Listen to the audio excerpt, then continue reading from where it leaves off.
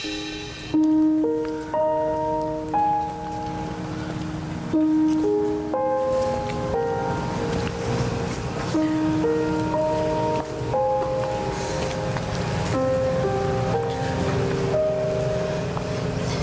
tama ba to? Anong mali, Cecilia? Mahal kita. Mahal mo ako. Pero natatakot ako. Cecilia, wala kang dapat ikatakot. Simula ngayon, magkasama na tayo sa lahat ng bagay. Sa pag-aaral, sa pagsasayaw, sa ulan, at sa mga pangarap. Hindi mo ako iiwan. Ngayon lang ako nakaramdam ng ganito. Ayoko nang mawala ito.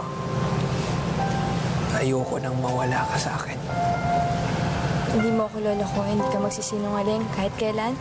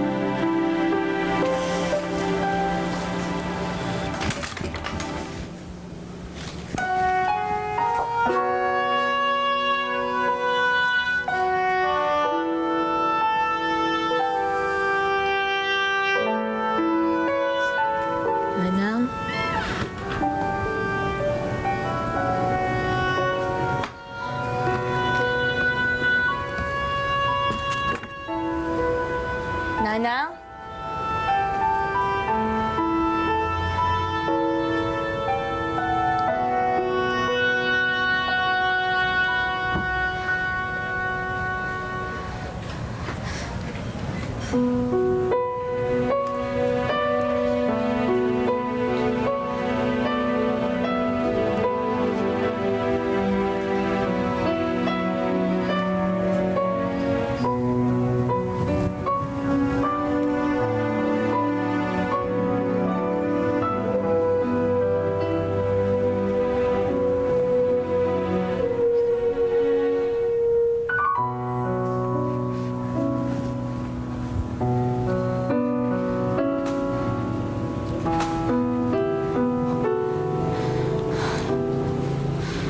Mahal ko siya. Mahal ko siya.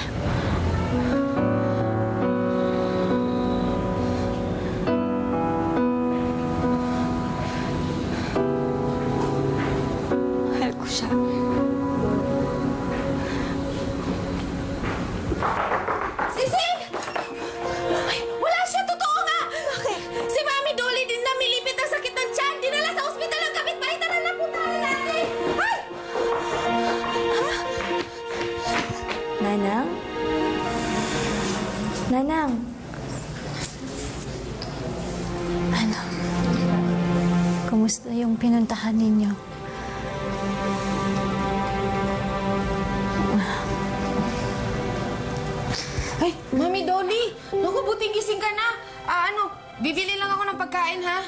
Huwag na, Ching Ching. Ay, naku, hindi po, hindi po. Sige, babalik lang ako. Sige, bibili lang akong pagkain.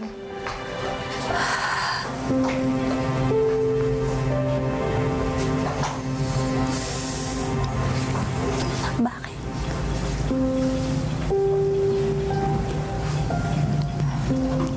Wala, Nanang. Ano pong nangyari? Bakit po kayo nandito?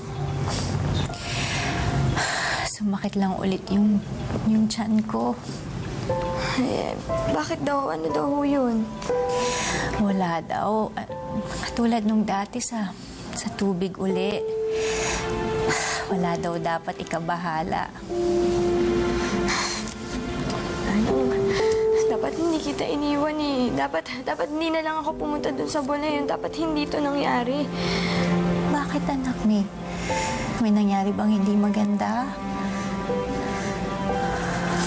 Wala.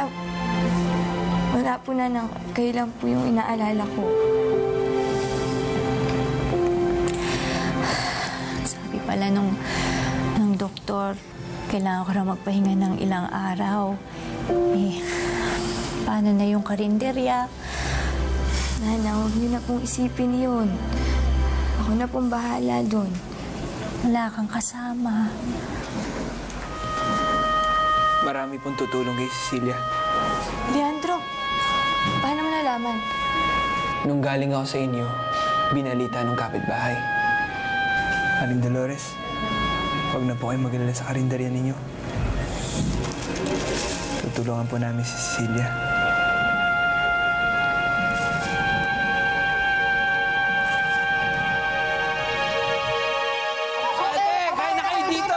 Pagkain namin dito. Halika kayo. Kain kayo dito. Kumain ka! Pumasok ka dito!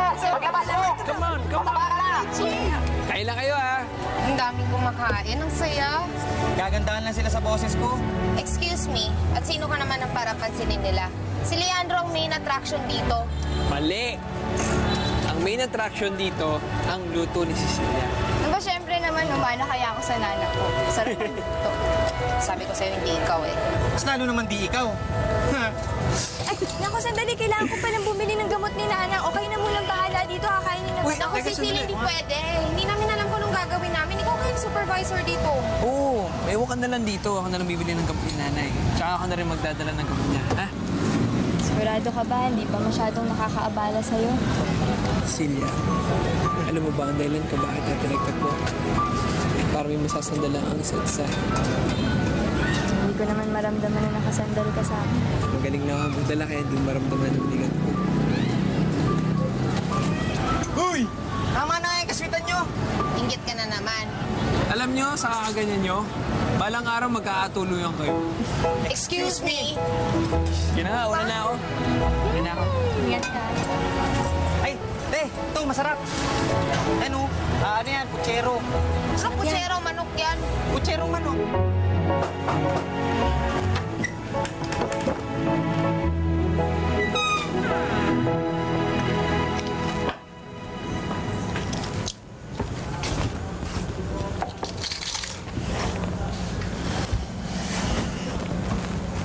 Dolores. Ito po, dala ko na po yung mga gamot ninyo. Inom na po kayo.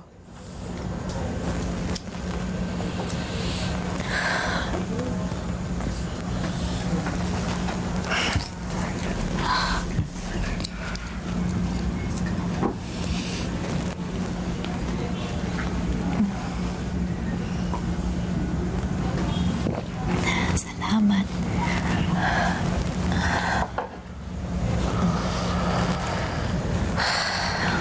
Um, nagtanong po ako sa butika kanina. Ito mga gamot niyo po, hindi po pala para sa ordinaryong sakit lamang.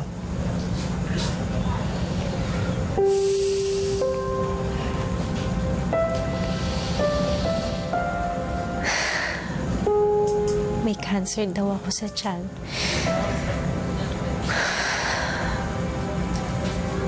Bakit hindi niyo po sinasabi ito kay Cecilia? Ayoko malaman ang anak ko.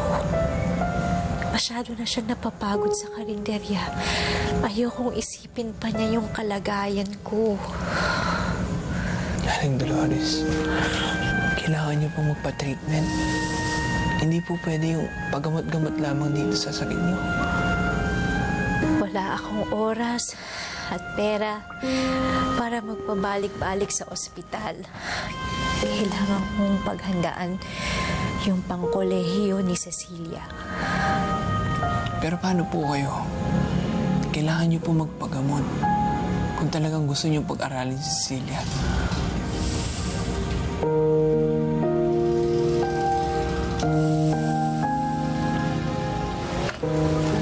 Hoy, oo. Ito pa. Kain pa kayo. Thank you. Uy, salamat ulit sa tulong nyo kanina. Daming customer. Dami naman itong pagkain. Thank you ah. Hindi wala yun. Ikaw ba? Sarap ba? Okay lang ba? Mm, sarap. Ay, ikaw, ano? Ako naman. Dami. Dami mo na nakain eh. Oh. Ah, ayan na. Ayan na si Leandro, ha. Manda na kayo. Magdadagsahan ng mga tao. Mas lalo pag naamoy siya ng mga chicks. Oo. Pagod ka na. Sabi ko naman kasi sa'yo, ako na lang magdadala ng gamot ni Nanang. Kulit mo pa. Gutom ka na ba? Gusto mo kumain? Hindi. Okay lang ako. Mainit lang sa labas eh.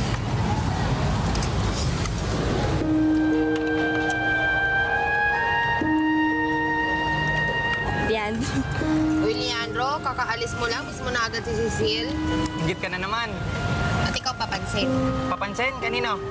Sa'yo? Asa? Leandro, usap-usapan sa campus na may girlfriend ka na raw. Totoo ba? Totoo. Well, good luck kung ganun. Sana maging masaya ka.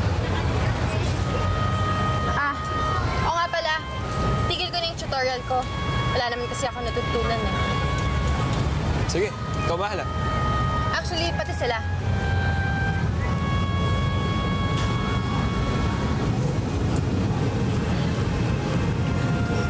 Pasensya ka na. Oh, bakit ka humingi na pasensya sa akin? Mas makakatulong ako dito. Pero paano yung kabuhayan mo? Dalawang buwan na lang, nag-graduate na ako. Mas makakuha na ako ng magandang trabaho.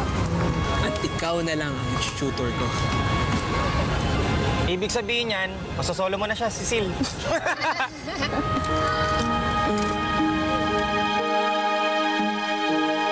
honest ako sa inyo. Aling Dolores, kalat na ang cancer cells sa ibang parte ng katawan mo. Kapag ganun, mahirap nang gamutin. Dok, ano pong pwedeng gawin natin? May mga available na treatment tayo, pero walang guarantee na gagaling siya. Aling Dolores, huwag kayong matakot.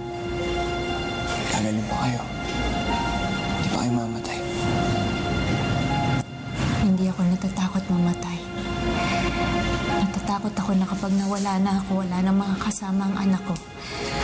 Wala na siyang masasandalan. Ako po. Ako po, Aling Dolores.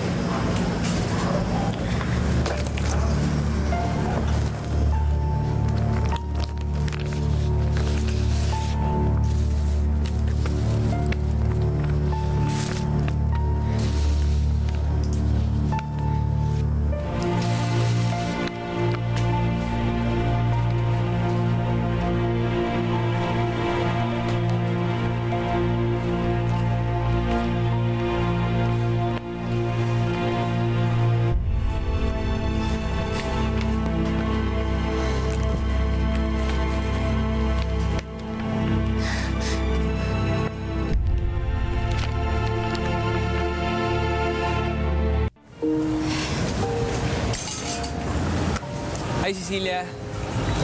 Galing na kami ng nanang mo sa check-up. Nakatito na rin siya sa bahay ninyo. Sabi ng doktor, gusto daw siya. Okay naman. Okay naman siya. Okay. Okay naman siya, Leandro. Anong ibig sabihin nito? Okay siya? Okay siya, Leandro?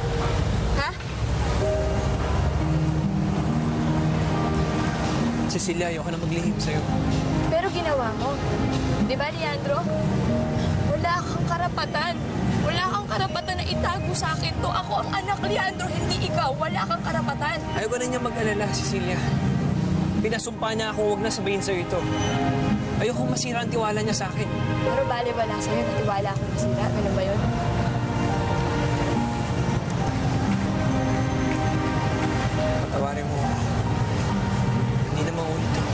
Na talaga. Dahil hindi na ako papayag na maulit pa to, Leandro. Hindi na ako papayag. Ayoko. Cecilia, huwag ka. Huwag ka nang pupunta dito. Huwag ka nang pupunta sa bahay.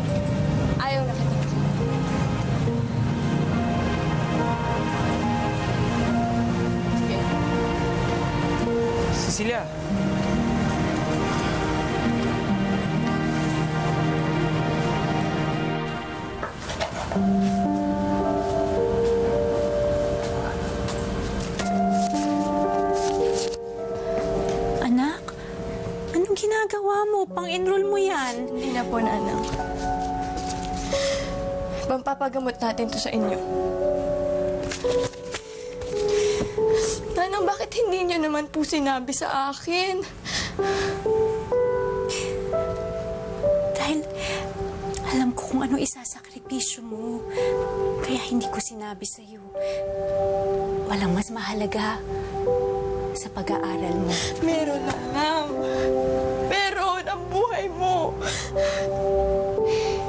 Ano ba't makagraduate ako ng college kung wala ka naman sa tabi ko?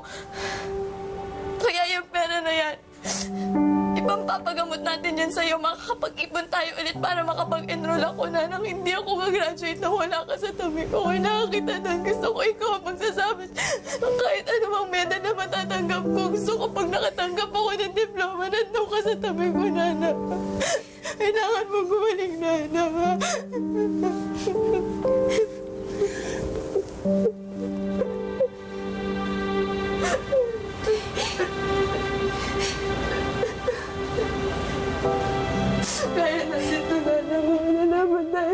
Nana. Nalaman na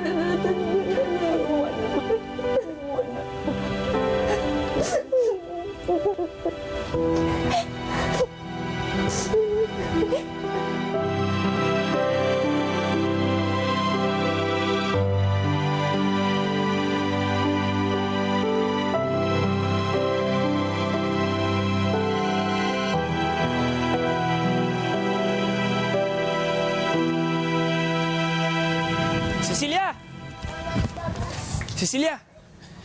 Kumusta na inang mo? Nakapagpagamot na ba siya?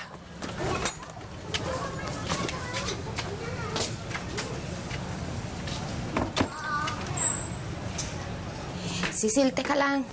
Bakit ganun ka kay Leandro? Ano bang ginawa niya sa'yo? Naglihim siya sa akin, Ching. At parang pagsisinungaling na rin yun. Yun lang? Brinake mo na siya? Ching, kung kinaya niyang maglihim tungkol sa isang malaking bagay, edi mas lalong kaya niyang magsinungaling tungkol sa maliliit na bagay, di ba? At pwede yung ikasira ng relasyon namin. At ayoko mangyari yun, Ching. Ayoko matulad kay Nanang. Ayoko mangyari sa akin yung ginawa ni Tatang kay Nanang. Ay, nako. Alam mo, kailangan niyo mag-usap.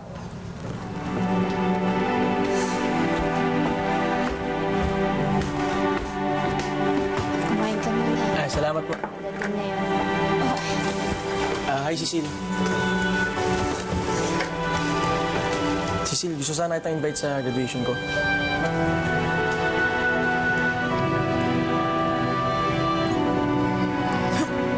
Cecil, okay ka lang ba? Papadala sa'yo ang pagduduwal mo. Para kang buntis ah.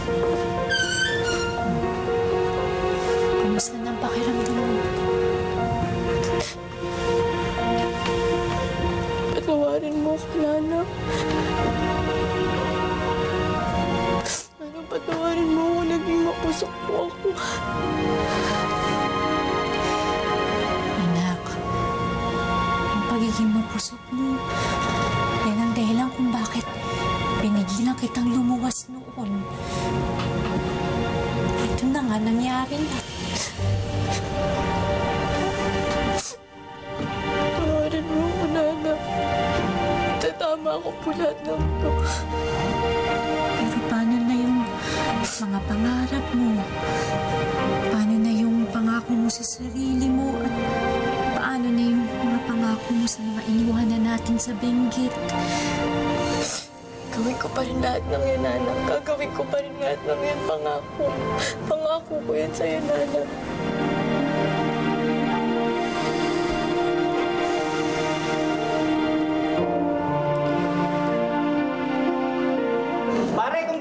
Uy, pare, congrats din. Uy, si Alan. Pare, congrats! Ad-employed na tayo! Uy! Pare, ano ba? Tama na! Ano ba problema mo? Anong nangyayari sa'yo? Nagpalipas ako ng init ng ulo nang nalaman ko yung ginawa mo kay Cecilia. Teka pare, teka sandali. Pero ngayon, may nakita ko yung pagmamukha mo. Hindi ko na mapipigilan yung sarili ko. Kasi gago ka! Pare, tama na! Traitor! Hindi ko alam sinasabi mo. Eh, gago ka pala talaga eh. Pagkatapos mong galawin si Cecilia, hindi mo alam na mabubuntis mo siya.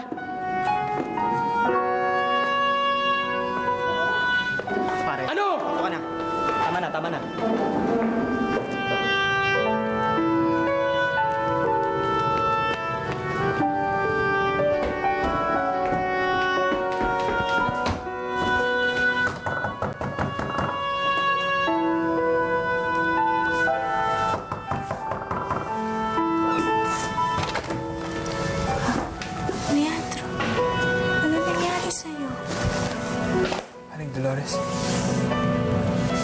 Cecilia po. Lumabas lang sandali. Bakit? Sa inyo ko po inaalay itong diploma na to. Para na rin ho kasi kayo nanay sa akin eh. Parang inaalay ko na rin po yan sa nanay ko.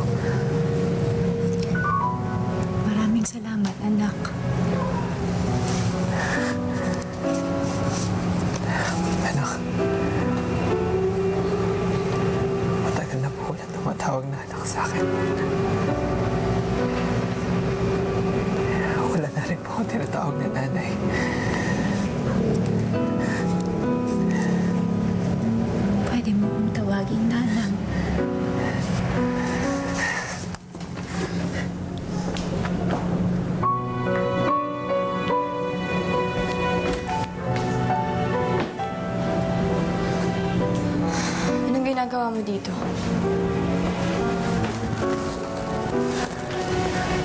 Cecilia, Bakit ka may pasa? tinanggap ko to bilang parusa sa lahat ng maling nagawa ko sa'yo. Alam ko na, Cecilia, kung parurusahan mo pa ako, tatanggapin ko lahat ng yun. Pero kung pinatawad mo na ako, sana tanggapin mo yung mayali ko sa'yo. At ano naman yun? Buong buhay ko. Lahat ng pangarap ko.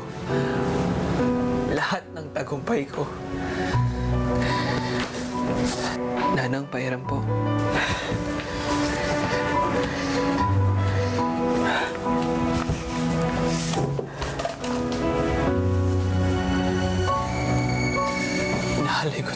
Ko to para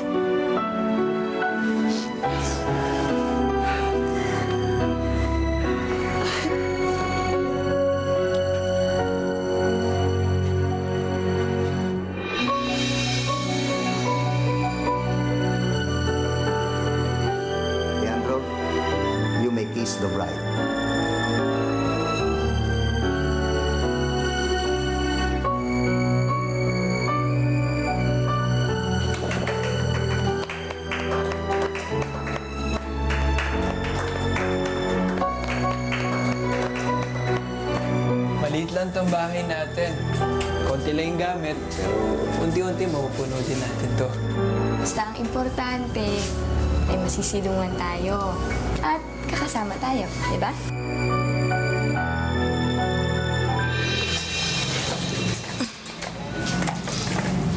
Oh, Cecilia. Sigurado makakalabas ka pa? Din. Leandro, hindi pwedeng hindi. Baka huling outing ko na to bago ako manganak. Eh, kinakabahan lang kasi ako eh. Baka mapaanak ka sa Manila ba eh? Hindi pa nga. Eh, kahit tanong mo pa si Nanang. O yan si Nanang. Di ba, Nay? Ayan, Nanang? Nang, Nanang! Nanang, bakit ka? Nanang! Nanang! Nanang! Nanang! Bakit? Ano po nararamdaman niyo? Leandro! Leandro! Tumawag ka na taxi! Nanang! sandali, sandali. Nanang! Nanang! Nanang, sandali! Sandali na lang. Leandro! Dok. Di ba nagkikimo naman ho siya? Dapat ho gumagaling siya. Pero hindi na nagre-respond ang katawan niya sa treatment. Dok, wala na ba tayong ibang pwedeng gawin? Baka meron pa po tayong pwedeng gawin, Dok. Gawin po natin.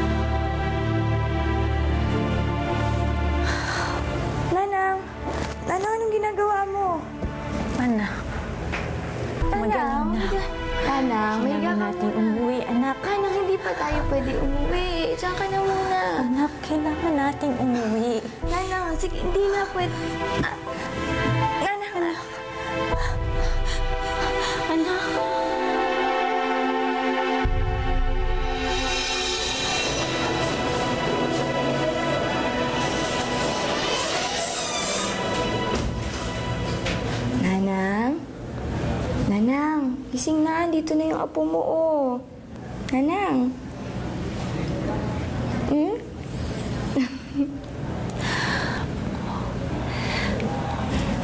Dali.